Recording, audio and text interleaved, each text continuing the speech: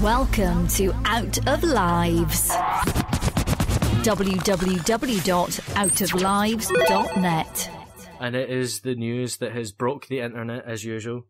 Has it? Um, oh, I no, but I've tried to amp it up a wee bit to make it exciting sounding. all right, all right, go on.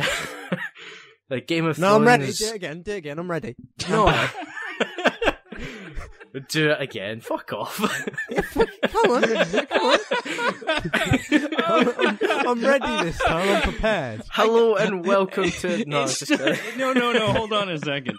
I- The pause. I could hear Adam breaking, even though there was nothing coming through, and that's what got me so tickled.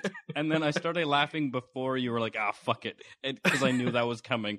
And now I've derailed it again. Um, hello and welcome to the Out of Lives podcast, episode number seventy-three. Can't handle the truth.